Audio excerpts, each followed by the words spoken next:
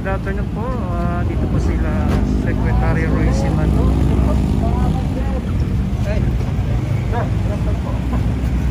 Sir, good afternoon. Okay na? Opo, natakpan na po namin. With uh, Yusik Leones. Aparador na Hello po. Balik, balik. Good afternoon. Meron! Yes.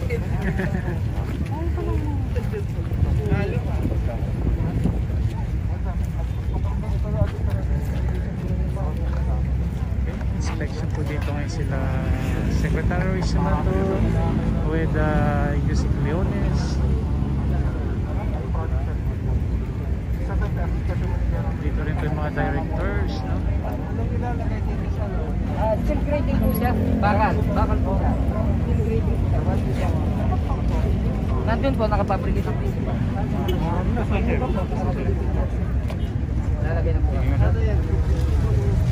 Bawal na po ba ito sa sakyan dito? Hindi po, pwede po siya. Sa kapal niya, pwede naman po. Kasi 4 din po yung kapal. Oh, pero palagay ko, ito dito.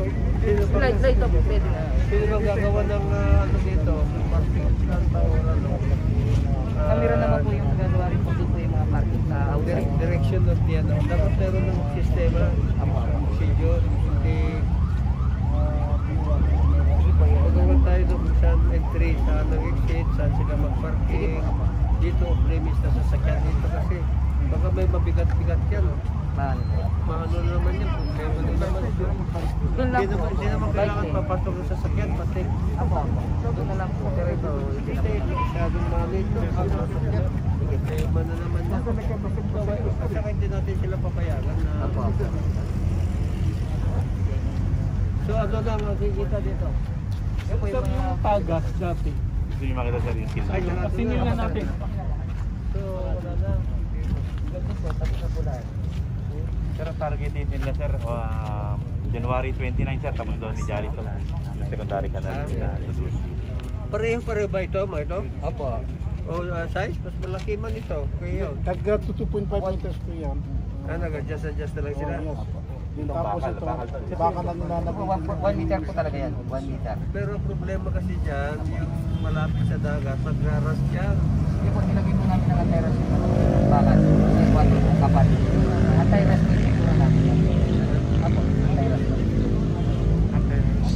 So, hanggang saan na yung nagawa mo, magagawa mo? Yung dito po sa Aban, 50 meters na lang po yung kulang namin. Yun na lang, dun sa boundary po ng souvenir shop, doon na lang po kami ah, naka-stop. Pero yung dito po, ah, kasi yung baras ng Mac Builders at saka Dragon Heart, 200 meters po yung kakulangan namin. Yun na lang po. So. Saan ba pupunta itong tubig? Ah, sa mga outfall po natin, for example, dito po, Abad, tapos dito po, uh. Naka-slope po siyang gano'n. So, diretso doon. Opo, opo. Mga 3-3 yan. Opo. Pasok, pasok sa 3 Opo, ano siya. Tapos makukunin ng STP yan, yung ano natin, pump. Diretso po sa STP. natin. Lalagyan ba nyo ng 78? Ito po yung vegan tiles. Vegan tiles po to. Ha? Vegan, vegan tiles po to. Vegan tiles. Magbuha po dito ang slope natin. Dito na po. Vegan tiles po siya. Naku, bayatang. Opo, yun po yung Oh, siya mo na nagsabi. Pero dito, paano ito? Ah, yun po, dililisin na lang po namin yan. Ito, ano ba ito? Mga. Bricks po yan eh. Fabric rin ito. Opo, bricks po yan. Na ano lang po ng lupa. Pero pag uh, nalinis po yan, ma- May briefing doon na si uh, Engineer Jolly kay uh, Secretary Roy Simanto. Mapapa-wire spray ko po yan. So, ah, wala pa tayong nagtitesting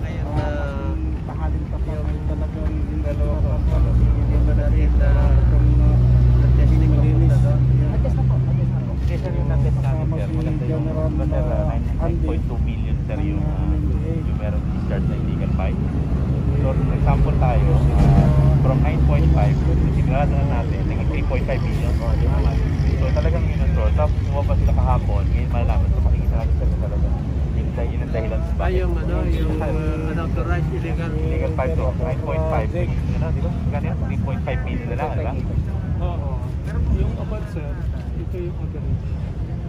51 M loss, 2019, 2020. Yung STP natin, nung binuksan na yun, influent 2.2. Ngayon, December, 10 yung influent, yung treated loan. 10. Yes, 10 na lang. Oh, below. Oh, below po. Below sa 100. Within the standard. nung in-interview ka kanina ako, 27 yan. Eh, 10 na pala. ah. Ten Ten na na sa- lang po, ten na lang po. yung ambient naman sir natin o water. Baka may ito- differentiate ako. Wala pa Baka yung kay wala pong San Silito, yung inyong kuhan, STP. Wala pong daya, wala pong daya yan. Walang daya yan. Wala pong daya yan. Ibig sabihin niya, gumagana yung Tingnan sticker. natin yung output Yung niya uh, pina, pinatapalan na ninyo. Ito po, ito po, aristocrat po. Kasama sa Okay, nagbibigay update po si uh, Engineer Jolly no, kay uh, Secretary Resimato. No? Inspection po sila. Kaya lang, hindi natin hindi nila natin po. Yan, dyan sa daan po ng matanggan to, no? So, so determined doon talaga yun. Oo po, dyan, dyan, dyan ba talaga? Ito po siya.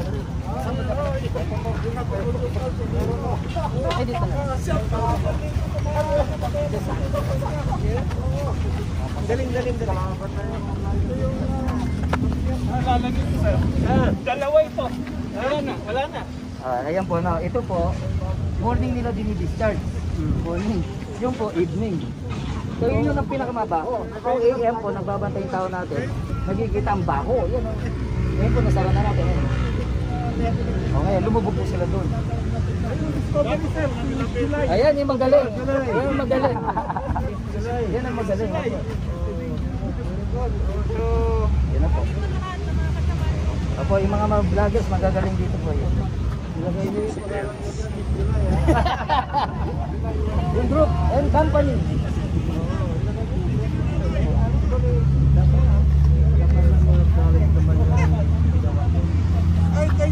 Yung sakdan po yun.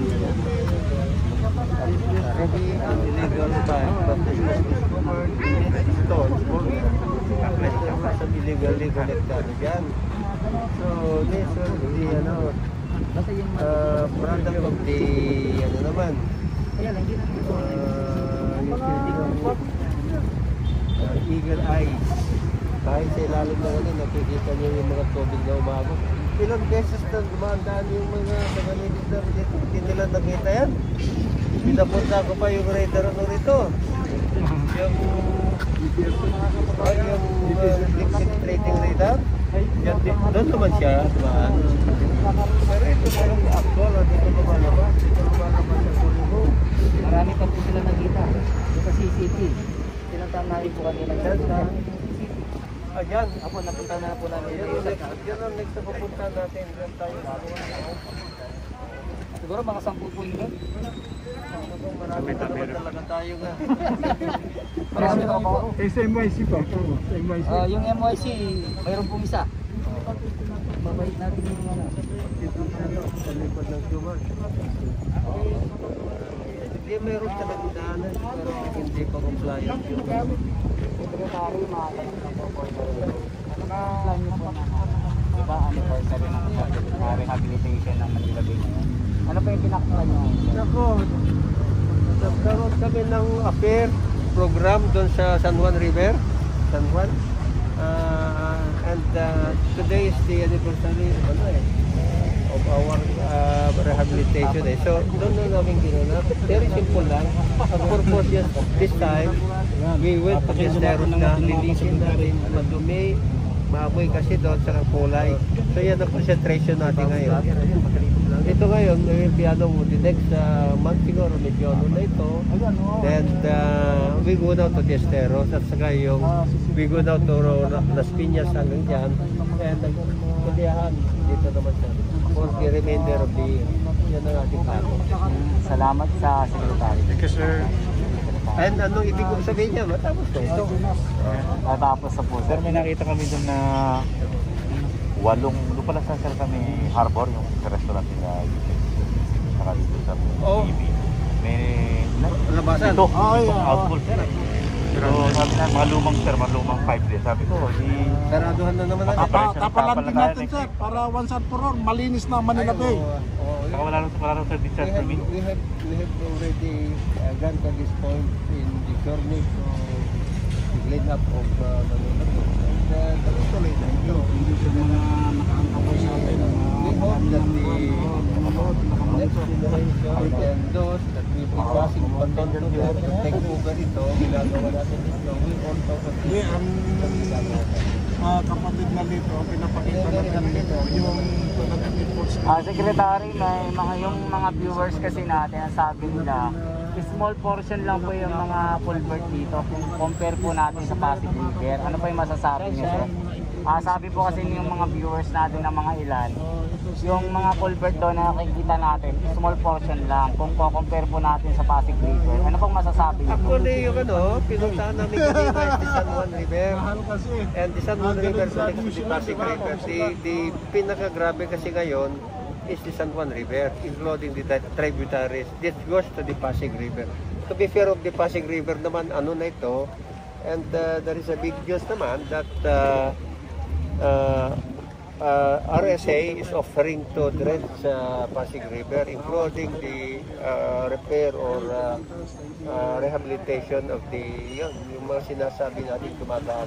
Pero mas grabe, yung mga lumalab, lumalabas sa bahay, doon na nangaamoy mismo. Katulad kanina, we went to creek na medyo maamoy, and uh, that is pra, ano, ginagawa ng Manila Waters ngayon. Ah, nandun rin mga ibang vloggers ha.